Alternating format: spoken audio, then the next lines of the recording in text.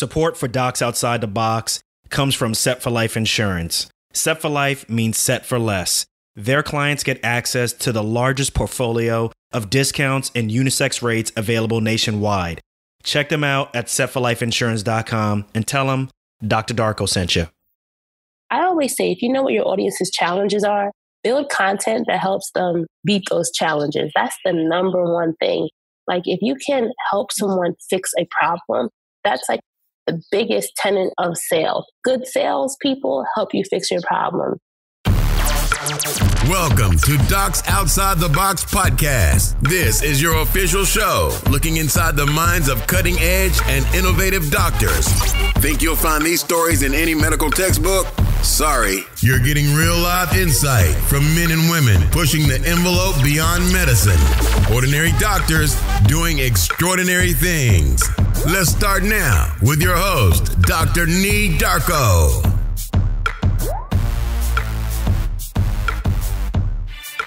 Hey, docs. Are you looking to learn how to become a physician leader? Then Physician CEO is for you. Physician CEO is an accelerated business immersion program designed for physicians and developed by MBA faculty from the Kellogg School of Management at Northwestern University. So learn more at www.physician-ceo.com forward slash DOTB. What's going on, everyone? This is Dr. Nii, your host. Thank you so much for joining me for another episode of Docs Outside the Box. This is going to be a great one. This is going to be the first of many episodes where I feature hosts from some great podcasts that I listen to, podcasts that I listen to on the regular, and really learn a lot from. Now, I've been thinking about doing something like this for some time, but I just really never took action for so many different reasons. But the biggest holdup really was I didn't think you all were really interested in something like this or you all really cared. And initially I thought, well, look, this is my own journey. This is the podcast that I listen to. But the more and more I listened to podcasts, I really started to realize that, you know, whether you're in the medical field or not, whatever podcast you listen to, whatever field you're listening to, you know, there's just these themes that seem to be really taking over, which is motivation, career freedom, happiness. These things, you know, are just kind of really universal to whatever podcast that you listen to. And it's really universal to what everybody wants. It's really straightforward, but, you know, I just wanted you all to really understand that when I listen to podcasts, I'm not just listening to podcasts within the medical field. I'm listening to podcasters who are not in my field. And I actually learn a lot more from them. I get really motivated from their stories.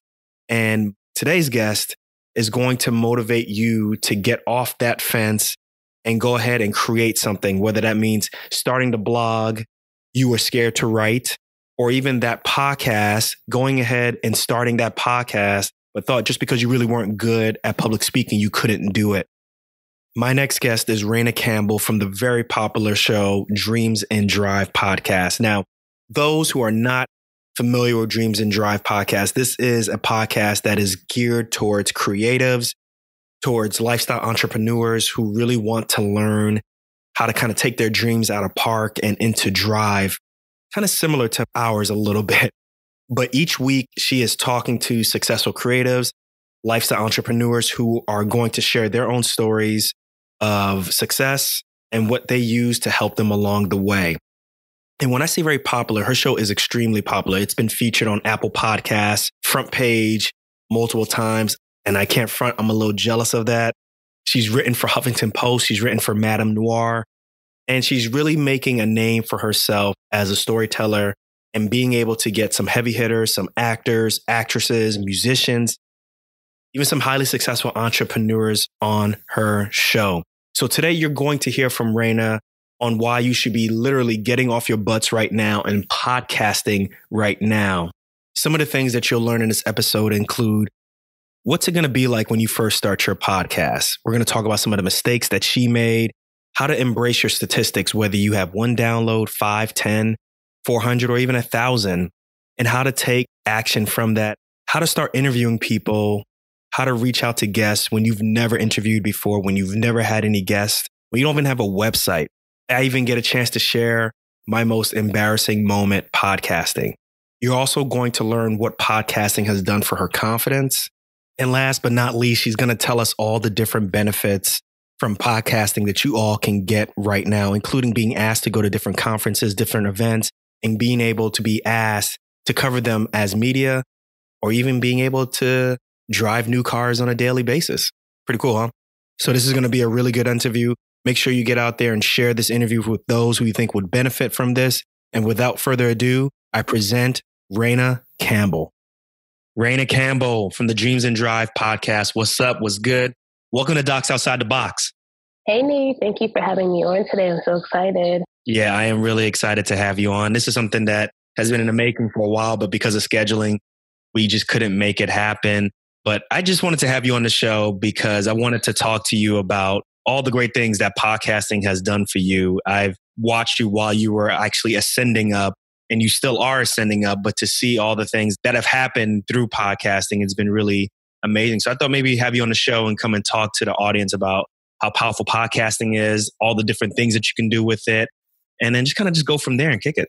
All right. Well, I'm ready for it. You know, I've been waiting for this conversation for a while. So let's see where it goes. And I hope that I'm able to help your audience just learn about the possibilities out there, especially if they want to choose podcasting as a realm they want to go down. Awesome. Awesome. So, look, full disclosure, let's be real. Because you've been doing so well with your podcast, we work together. I actually hired you to help me make my podcast a lot more systematic, help my podcast just a lot more professional. And I have to say that it definitely worked wonders for me. So that's one thing I just want the audience to know is that we have that type of professional relationship. All right, yeah. And you were a great client to have. And I'm excited about your journey and just about this platform, this community that you're building. So let's get to know you a little bit. So you host the podcast Dreams in Drive. Basically, you are a lifestyle entrepreneur, but obviously a lot more in depth than that. But let's hear a little bit more about your background. Where you from? When did you start this podcast? Let's take it back about two years ago, and then we'll kind of go from there. All right, so just two years ago. But first off, I am Rana. I'm from Orange, New Jersey. I want to call it. It's like an urban suburb of Newark. it's like a smaller. I don't know if you ever heard of Orange being described as that. So I'm a Jersey girl. Went to Princeton, graduated. Thought I would have this big media job, and it just didn't happen. So I was always interested in media, telling stories, and I was like, you know what? I could create my own media job. And so that's when I started doing a lot of freelance writing, I was interviewing female entrepreneurs for MadameNoire, which is a female lifestyle site for Black women. And I was interviewing all these entrepreneurs, putting out these great, in my opinion, great, you know, profile interviews. And I just felt like nobody was reading like a 2000 word interview, right? Mm. So this was in late 2015. And I remember I was interviewing this one guy because at this point I had started my own interview series or my personal blog, ranacampbell.com, and it was called Brand Makers. And I was interviewing this guy called Nate Holt Sapple. And we were just talking about like what's the new trends. And he's like, you know, podcasting is going to be big. And I told him how I wanted to start a podcast. And I gave him like a whole laundry list of excuses. And he was like, well, what's stopping you? And I was like, that's a good question, Nate. What were the excuses that you were using at that point? You know, I didn't know how to do it. I've never podcasted before. I don't have an audience. And he told me that there were a lot of people who were not as smart as me who were out here building things and making money doing it. And he was like, just do it. Just cut the excuses and just figure out how you're going to get it done. And that was like, if you could think about the moment that could push you forward, that was the moment for me that really made me realize that I was holding myself back. I put a date on it. I'm like someone who likes like even starts. So I said January 1st, 2016, I'm going to launch the podcast. Mind you, this was August 2015. I had no idea what it took to start a podcast. Mm-hmm. But with hard work and with a lot of research and just being committed to that goal, January 1st, Dreams in Drive was launched, and I've just been building it ever since. So, in the beginning, my dream was I never imagined that I would make it this far, the vision was still the same, right? I wanted to interview people about how they built their brands, how they took their dreams out of parking into drive. And in the beginning, the show was actually called No Parking. I remember because that. I had this mm-hmm. whole thing like keep going, don't give up, and I was obsessed with this picture that I thought was a sign. You know, me uh, standing in front of a no parking sign. So it took me a few, maybe 30 episodes, and I'm like, let me just use Dreams in Drive, the hashtag, as the actual podcast name. And since then, it has just grown to be more than I ever could imagine. At the time of this interview, we just released our 160th episode. We're two years and seven months in, had over, I want to say maybe like over 140 guests. We've been on iTunes podcast feature like a bunch of times for Apple Podcasts. It's just been so great, me. As you have probably seen, like, it's definitely been a journey, though. Oh, yeah, it's definitely been a journey, but also at the same time, it's been really fun to see. I mean, you just mentioned being featured on the front page of Apple Podcasts or in numerous features of Apple Podcasts multiple times, which, you know, for most podcasters, that's like the mama I done made it moment, right? you know, yeah. so that's been really impressive. So tell us, so like, this is not your main gig though, right? Doing a podcast. Like you do other things. Like what do you do primarily from your nine to five? Just so we can kind of get a hint at what you normally do. I graduated with a degree in sociology. As you know, that really means nothing unless I want to be a professional sociologist, which I didn't want to be. So right now I work nine to five in marketing at an e-commerce fulfillment company. So for the past uh, four years, I've really been diving deep into content marketing, content automation, email automation. Basically, my job is to help our sales team fill our sales pipeline.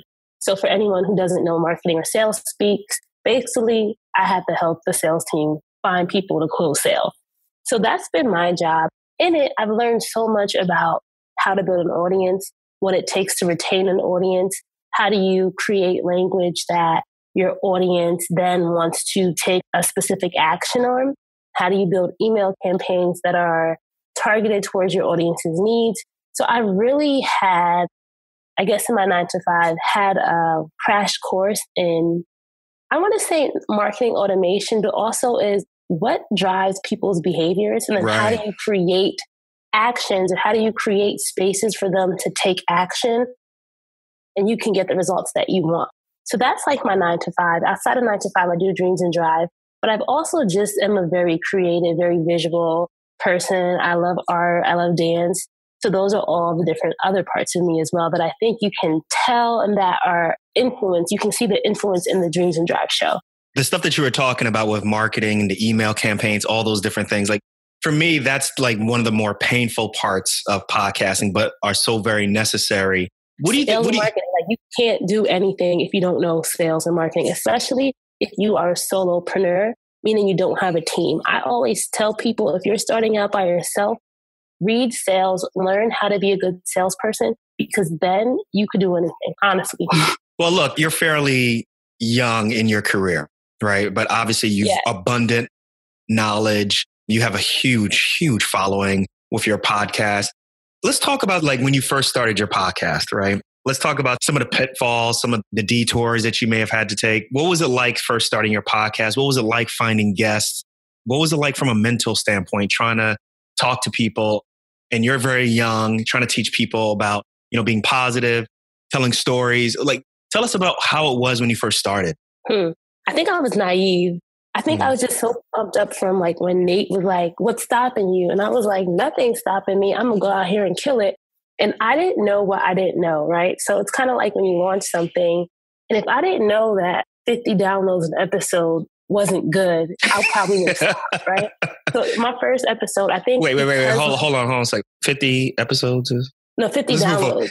50 dollars that's what i got no i'm teasing let's move on let's move because you know there are people who yeah. have that right or achieving to get that you know so you know i'm just saying that let's say in the beginning right mm-hmm. whatever my number was in the beginning it probably wasn't what you would call the best right but mm-hmm. i was just so excited about it that that fueled me and i didn't know that you know most podcasts have like the popular podcasts they're having like 30 40,000 downloads per episode on the first day so for me yeah. it was just like you know what? I had 20 downloads, 50 downloads. I'm famous. People love it. Like it's so much because I've never done it before. What was mm-hmm. that feeling like just knowing? Because I mean, you're way past that number, right? But like literally, like just what does that feel like to just to have like five downloads or just to have someone that you don't know is listening to your podcast? You don't know how they feel about it. You don't know what action they're taking about it. They could be listening multiple times. Like, what did that feel like? Talk to the audience about that. it was affirming. And at the same mm. time, it was exciting yeah. because I'm someone who likes, and you know what? One of the reasons why I started Dreams in Drive and didn't, I started a whole new website, although I had ranacampbell.com, is I was excited about building something from scratch.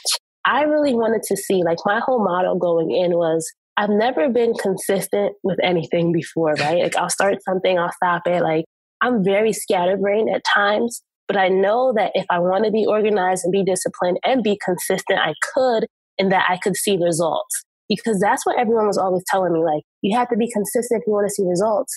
So I said, all right, I'm going to be consistent and let's see if this consistency thing actually works. So for me, I was like challenging myself. It was like a weekly competition that I was having with me and me just to see could I beat last week's numbers? What could I do to get more listeners in? So I was so committed to wanting results and seeing how much community I could build from scratch. Because I really started from zero. Mm. You know, I um oftentimes I'm not at where you're at in terms of episode numbers, but would love to be very soon. But oftentimes, like the first five, six, maybe even like the first 20 guests, I really, really appreciate them because a lot of them said yes when I didn't have a website. Particularly, I didn't have anything out.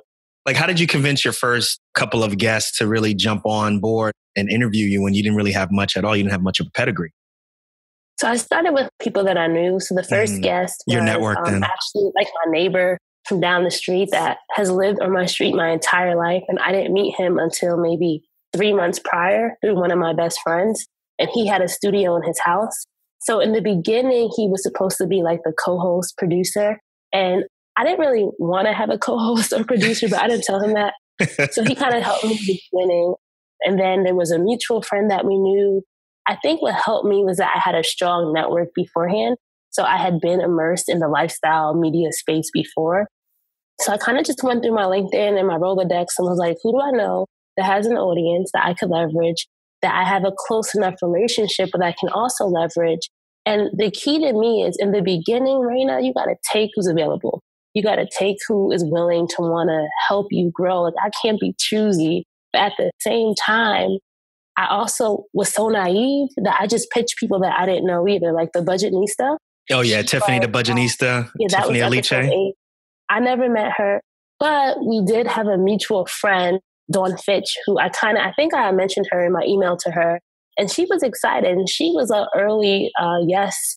And she's somebody who I didn't know. She's someone who we had never communicated with before, but I think because I was so excited about the brand, we were a few episodes in already. So it wasn't like I was experimenting with her. I think because I had a credible background, I had written for MadameNoire, written for Huffington Post, I had my own blog that she could go and see. I had something to show her so she felt like I was credible. Hmm. And that's kind of how I got those early guests. It was more of just who do I know? How many pitch emails can I get? Or how many pitch emails can I send until I get a yes? That was like my process. And now, a word from our sponsor. Understanding how to run a business in medicine will put you at a unique advantage in the future. Whether it's leading a hospital, practice, or starting a new venture, the Physician CEO program will put you in focus from day one. Physician CEO is an accelerated business immersion program developed by MBA faculty from the Kellogg School of Management at Northwestern University. The Physician CEO program provides an intensive MBA style education made up of modules, with each module covering topics from leadership to entrepreneurial ventures. Because of their individualized structure, each participant leaves the program with their one, three, and even five year business plan, all designed to function in the real world.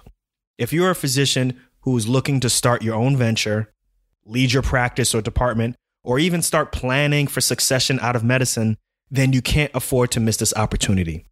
Class is filling up. Learn more at www.physician-ceo.com forward slash DOTB. So, what was the biggest or most embarrassing thing that you did with a guest during a podcast during like your first early episodes? I'll share mine real quick. So mine was I was interviewing. so look, look it up.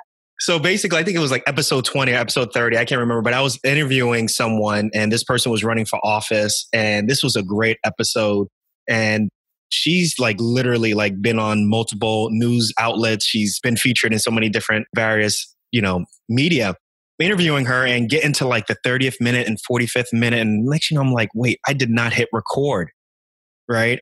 And I was like, oh my God. So there's like this feeling of sweat, feeling of just like all of a sudden like sweat just beating on my forehead. And she's talking and I'm just looking at her like, I don't know if I should tell her that we should stop. should I keep going? you know, but I, eventually I stopped there and I said, let's just, you know, look, I apologize. I didn't hit record. I'm sorry. Like I know we had a good how chemistry. Many, how many minutes were you into it? I was like 45 minutes into this. But it's just one of those look at your face. You know, it's just one of those things that just happens. But she was really cool and we recorded the week after that. And, you know, I just kind of just gave her some of the tips or some of the things that we talked about and she remembered it and we just took it from there and it was great. So I liken that to like with you. Did anything like that happen to you? Anything worse? Anything, you know, tell us what it was like when you first started. I'm trying to think. It seems so far ago. That's why I'm like scrolling through my episodes now to see if there's a story that I can remember. I don't think anything embarrassing in that realm because I'm like a super duper like double check, have my checklist, got to make mm-hmm. sure that's all there. I did have one guest that was eating the entire time, mm. and I could tell that the guest was eating, and I wanted to say like, stop eating so bad, and it was just something like that. It was a lesson for me in the beginning that if you hear something, you have to be assertive, even with your guest, or you mm-hmm. even have to just be willing to tell your guests when something is not going to be good for the show. And I didn't do that. And it's still to date, it's an episode that I think had a lot of potential that I just think because I could tell he was like on his phone and he was like doing a lot of other things, didn't turn out to be as you know good as I wanted it to be. So I think from a production standpoint, and just putting it out there, I wasn't as proud of it because I felt like it was my fault and I should have stood up for something that I knew would have helped it in the long term. So when did you start to realize that, or when did you have your quote unquote like, oh snap, like this podcast has taken off, like this is you know something that people really really like? When did that occur? Hmm, I want to say I had guessed one of my early guests, episode six guest, Akita Holly, she had her own podcast that was very popular, hashtags and stilettos. And she reshared it. And I got so much traction from it. I was like, wow, people think I'm a good interviewer. People like my show. And so for me, that was a moment for me to say, all right, Rana, you may not have as many downloads as you think, you know, all these other popular podcasts are having, but people like your voice and people like your interview style. So that's something that you should just keep with. And then I think my first Apple podcast feature, which was episode 32 with Jeff and Kaliza wow. there. 32 episodes in. 32 episodes in, you already yeah. got featured by Apple Pie. That's what's up. That's really cool. I think me being able to convince the it was iTunes at that at that point, it was still called iTunes, you know, to convince him to feature me on the show and I was only seven months in at that point made me realize that, wow, like Apple thinks that this is a good idea. Maybe, maybe, you know, girl, you, you gonna be something. Keep going with this. I think that was like the first point where I was like, wow, this is good.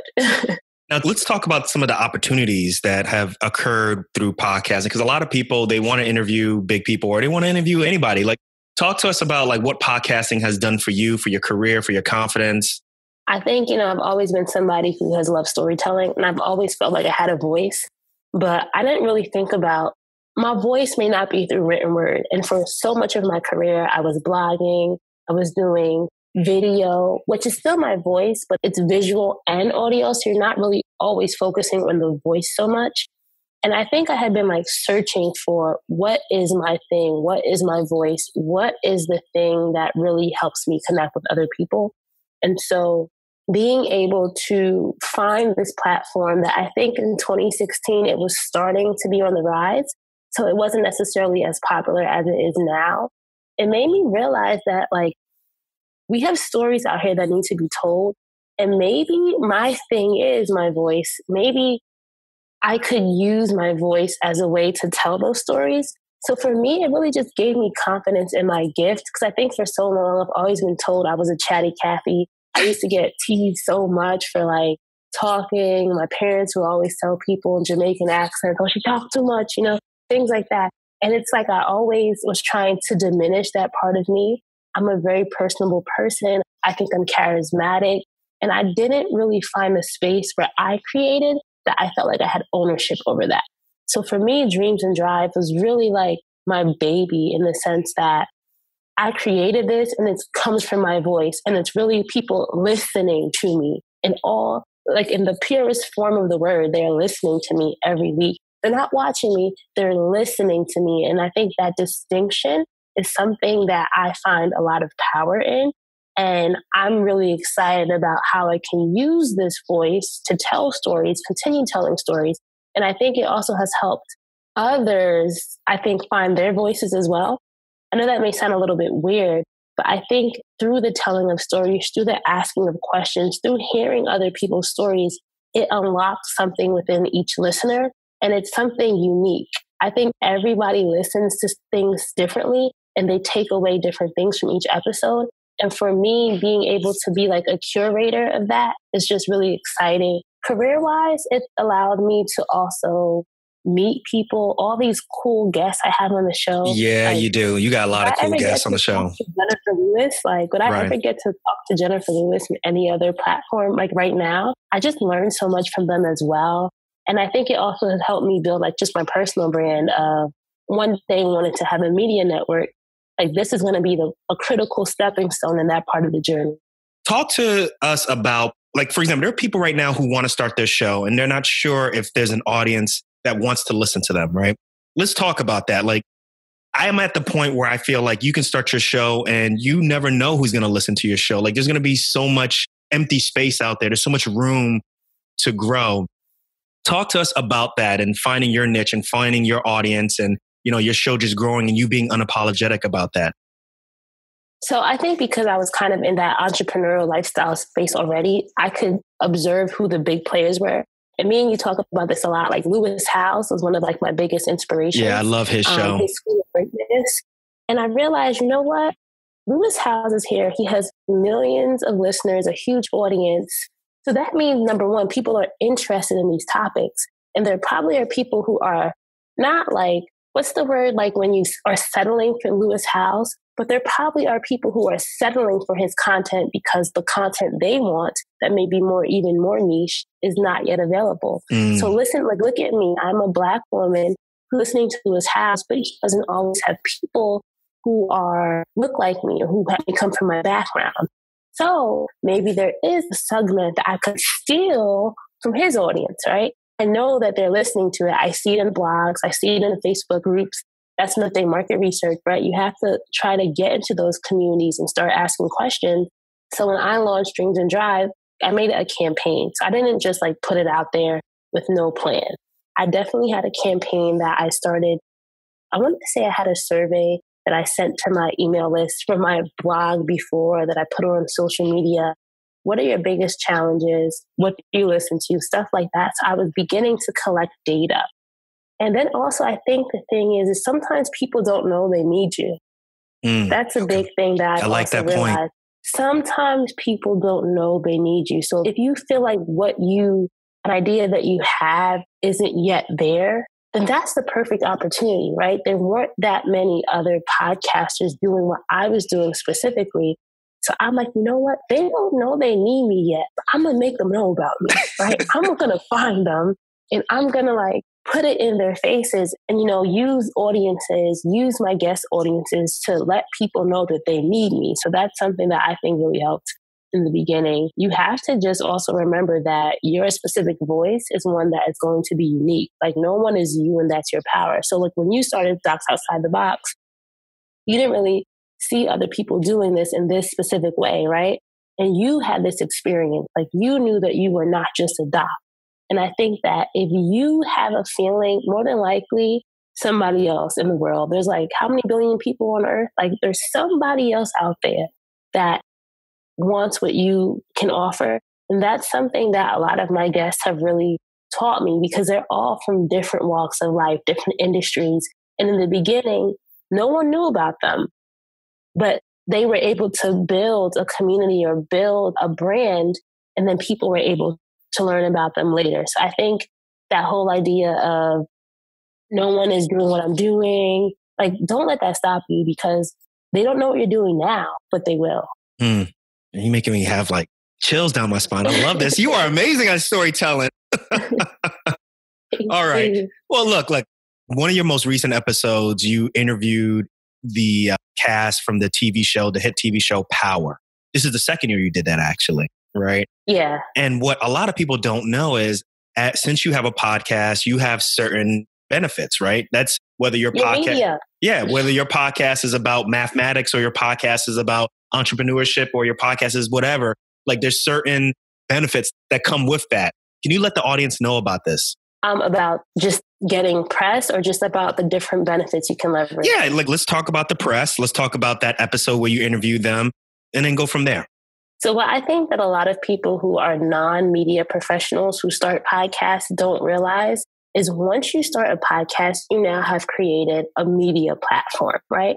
So, you as a doctor, right, you may not have known that, oh, a podcast is now considered some sort of like journalistic endeavor, meaning that people that you feature or anyone that you bring on your show, they are seeing this opportunity as press, right? Mm, So for me, because I was in the lifestyle space, you know, I'm interfacing with people from like different types of entertainment and media companies. I knew that like publicists or talent, which you can call guests or talent, right? They want opportunities to tell their stories. And there are so many different things that you can pitch in a lot of these conferences. You can get access to conference as media, right? You can get access to press junkets, which is why I went to a power press junket, which basically is like a preview event for the show before it premieres. It's so easy. That's why I tell people like, it's funny. I'm going on a tangent here. I tell people like, if you want to meet people, just start a platform and do interview series because you can literally get anywhere if you are helping other people build their brand, right? All these actors and actresses, at the end of the day, they want to build their brand the same way that you want to build your brand. And having a media platform is probably like in 2018, it's the best way to do that. So for that power junket, because this is once again, I have to just preface it. I was already in the industry before. This is where I learned. This is how things work. I was on like a Starz press list. I was getting every time they had new episodes, I would get the synopsis and the trailers and all that stuff. And I just said, Hey, you know, is there an opportunity to interview the cast? And they were like, Oh yeah, we're having a press junket. Do you want to go to that? And I was like, Okay. Yeah. and they said it was going to be roundtable interviews. And so in my head, I thought that meant like I was going to interview the cast one on one. It was going to be on TV, like you see on like YouTube. If you were to uh, YouTube, like any of those press junkets. So I went in there with this expectation that I was going to be interviewing Omari Hardwick and Lala. And it wasn't like that. They were at a table. There were other people there. It wasn't the experience that I thought, but I realized, wait, like I could pitch my platform, tell what it is, label it as media, right? Kind of make it, hype it up a bit, and people would still see my platform as a vehicle for getting their story out there. So that's how I got invited to the press junket the first year. And I just followed up, right? I kept those contacts, made sure I was on the list so that this time around I got the invitation for this Mm. press junket.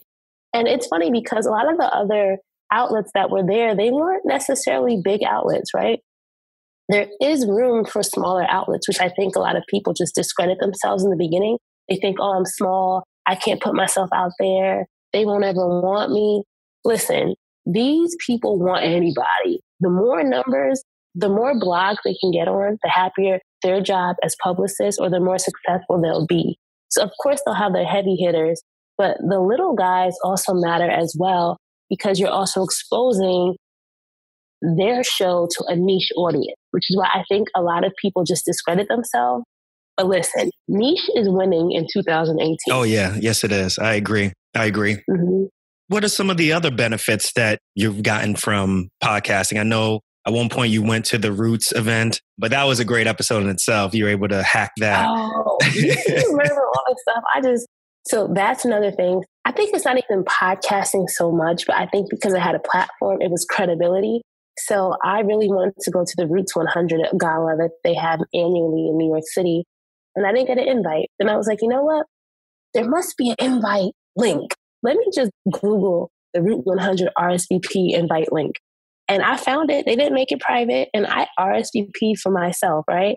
And I think because whoever was checking it, they must have assumed that if the person RSVP, they got the link. So they sent me my confirmation I was in there. So I think, you know, events, going to events is another benefit, going to conferences. A lot of conferences have media passes for free. So you can get into some big conferences if you're willing to do coverage. And nowadays, coverage can mean social media coverage, it can mean blog posts. It doesn't have to be necessarily directly on your platform, but people always want to know that there's someone in representation that has an audience that's going to share it. I've been able to drive cars for free. yeah, I've seen that. You've been driving some Mazda cars. I love it. Yeah. So that's working with brand partners. That's something else that I think is because I have a platform, it's credibility. They're seeing that I'm building something, they want to be part of it. I've been able to have clients still build out a consulting arm, build revenue, monetization. There's so many good things that have come from this podcast that in 2016, January 2016, I would not even have imagined. I love it. I love it. Now, give us, um, you know, for the listeners who are getting ready to start a podcast, or for the listeners who've already started a podcast and they're just not seeing the growth that they want to see, give us one tip, one that they can use to get their podcast accelerated, get it to another level, get the downloads that they want. Give us something good. That's a hard one because you know I'm, I have all the tips. It really depends, but I think the one thing is you really have to understand your audience, or you have to understand what is it that they really want to get out of your show. So you know, I think we did this. Ask your audience, like, what is it that you enjoy the most? What are your challenges? I always say, if you know what your audience's challenges are, build content that helps them beat those challenges. That's the number one thing. Like, if you can help someone fix a problem, that's like the biggest tenet of sales. Good salespeople help you fix your problems. So I'm not saying you should see yourself as a salesperson, but you have to see yourself as a problem solver. So if you can find ways for you to help solve people's problems, they will share your content, right? If you're able to, and I know I'm being all like touchy feely, but I feel like if you're able to touch someone's heart, you're able to inspire a feeling inside them, that's what's going to fuel action. And for podcaster, actions mean downloading, sharing, or talking about it in some way. So I think when I was on Dr. Wendell Cole's podcast. Oh yeah, Convos with Dr. Cole. Like, Yes, I was like, what is it that you want people to feel after they hear your episode? That's something that I think a lot of people are just, I don't want to say all podcasters, but I think a lot of new podcasters aren't really thinking about what is the vision, what is the goal, what is the community they're trying to build. But I think if you really focus in on that and really know at the end of the day, you're not here for yourself. If you want to have a show for yourself, you could just talk to yourself in the bathroom, right? right. Like, your show is for other people and it's to inspire people to take some kind of action or to have some kind of feeling.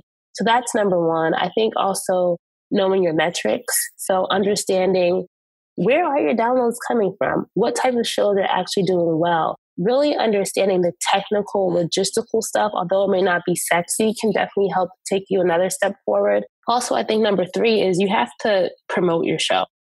So promoting can mean a lot of things. So whether that means getting on other people's podcasts, whether that means investing in social media, whether that means creating assets that you can actually put out there in social media, you have to invest in the promotion because that whole thing of make it and they will come is not true. Like you need to make it and then go out there and sell it, go out there and like tell people about it.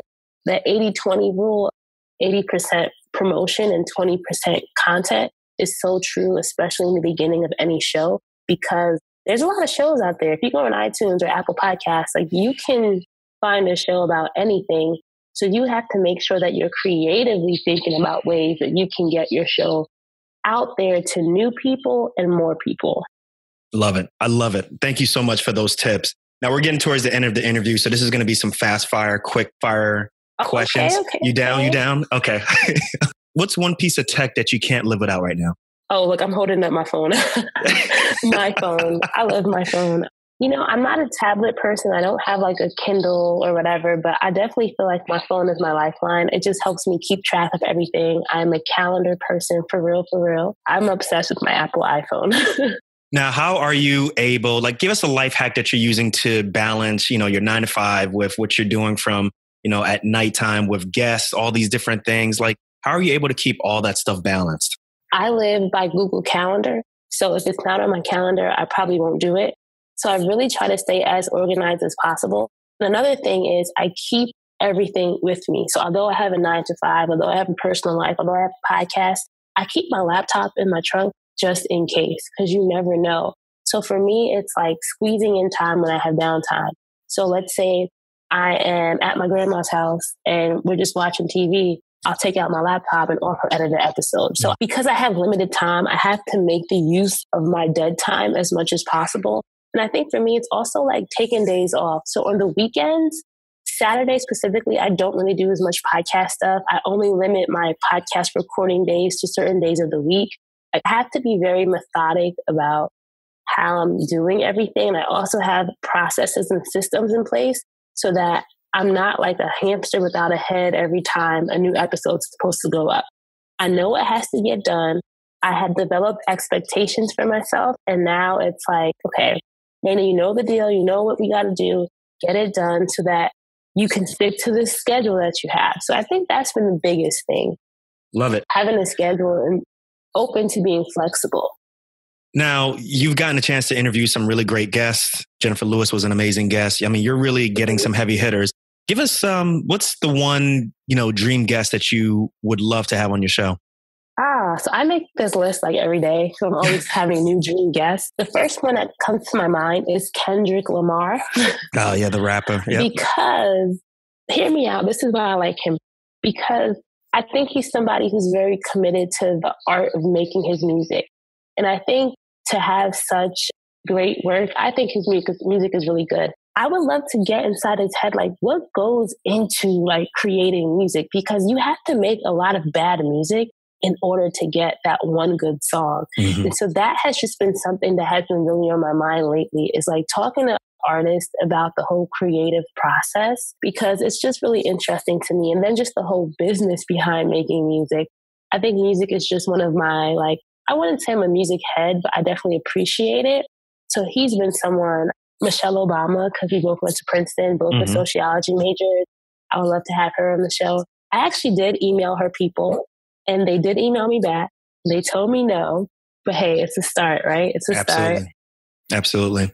But look, yeah. uh, Rana, thank you so much for your time. I know you got a short period of time, so I don't want to take too much of that. So thank you so much for being on this show. Listen, obviously, in order to get to your show, the best way is www.dreamsindrive.com. But to let the audience know the other different ways that they can, one, find your show, get in contact with you, all right. So Dreams in Drive is available on all platforms Apple Podcasts, SoundCloud, Spotify, Google Play, any of your favorite podcast apps. You can definitely search Dreams in Drive and find it there. You can also connect with us on Facebook, Twitter, and Instagram. So we are Dreams in Drive across the board on all those platforms. And I also have my own personal page. I feel like I've been debating if I should combine the two. Combine it. You think so? Yeah, I think so. Okay, well, we can talk about that another time. But, um, my personal page is it's like a screen name I've had since I was in high school. It's Rain Shine Love. It's R A I N S H I N E L U V. And that's where I just post like more personal things, things going on with me, things that right now it's still part of the Dreams in Drive brand. But I see me, like if you want to know about the host Rana, then you go to that page. And if you want Dreams in Drive only content, then you can check out the Dreams in Drive social platform. Love it. Thank you again for your time. Let's do it again. Thank you, Nii. And I really appreciate all the support you have given me over like, you know, the past few months that we've known each other. It really goes a long way. And I feel like for anyone listening, support a friend, support a fellow hustler, support your fellow docs outside the box because that's really the fuel on the days when you are just feel like giving up, right? it's knowing that somebody out there believes in you, knowing that somebody out there is being impacted by you. And a lot of times we as creators don't always know, right? We're like, does anyone really care about this? So getting that DM, getting that social media shout out, it really does mean a lot. So I would just say, tell someone you support them today because you may be inspiring them just as they have inspired you. And that's a wrap. Once again, I really want to thank Rana Campbell for coming on the show. She really dropped a lot of gems, and I hope you all learned a lot from her, particularly those who are interested in starting their own podcast or anything that you want to put content out there and you're not sure exactly how people will take it, people will receive it. Obviously, you've gotten some inspiration from Rana Campbell, so you know what time it is. It's time to go out there and go ahead and start and do not use any more excuses. If you want to learn more about Rana, if you want to learn more about Dreams in Drive, make sure you listen to Dreams in Drive anywhere you find your favorite podcast. It's Apple Podcasts, Google Play, Stitcher Radio. You could also find it on the web at www.dreamsindrive.com, or you can follow Rana at Dreams in Drive on Instagram or at Rain Shine Love. So, look, I'm going to catch y'all on the next one. But before I jet, remember one thing we only got one life. Let's make it count and live outside the box. Peace.